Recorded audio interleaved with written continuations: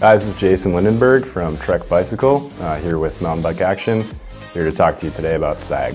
All right, so first of all, what is SAG? SAG is the suspension compression just due to the weight of the bike, rider, and gear. And why is it important? Well, just as there are bumps on the trail, there's also holes. So suspension needs not only to soak up the bumps, but more importantly, it also needs to maintain traction. So when the wheel does move through those holes, it needs to be able to extend and keep the tire on the ground. So the two common problems you run into are having too much sag, uh, which means that there's too low of a spring rate.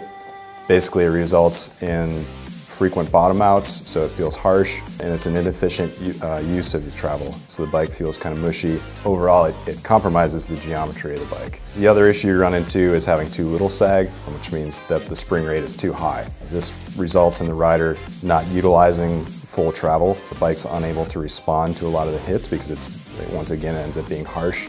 Um, and there's also a loss of precision where the bike is skipping over objects on the trail. So now we're going to talk about the kind of difference in setup between cross-country, all-mountain, and downhill applications.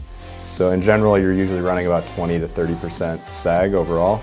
Um, however, in a cross-country setting, they tend to go with a little less sag, closer to that 20% range, um, which focuses more on efficiency and maintaining that higher and steeper geometry. Um, in the all-mountain category, uh, we kind of end up in the middle, about a 25% sag seems to be a, a, good benchmark. This allows a balance of capability as far as bump response, as well as maintaining some of that efficiency. And then in the downhill category, we push closer to the 30% sag, um, just for maintaining optimum traction and control at all times.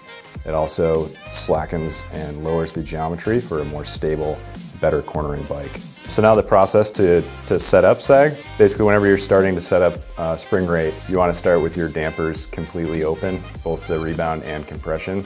The next step, you can usually check for a recommended spring rate, whether it's the coil or air shock setting. Um, shock settings are typically listed by the manufacturer, and fork settings would be typically shown on the fork or through the fork manufacturer site. Next step is to fill shock and fork um, to the recommended pressures and then cycle, um, making sure to, to go through travel to reset any negative spring volumes, uh, especially with the new shocks with larger negative spring volumes. It takes more of this process to get the canister balanced. Next step, to mount the bike and basically bounce and then settle um, at your in your riding position.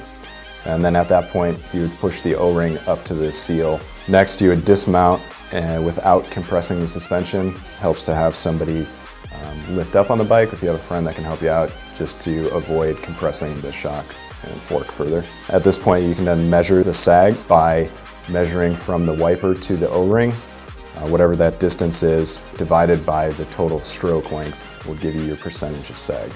Um, from there you can adjust spring pressure to get your sag to the optimum point, either adding pressure to reduce sag or reducing pressure to increase sag.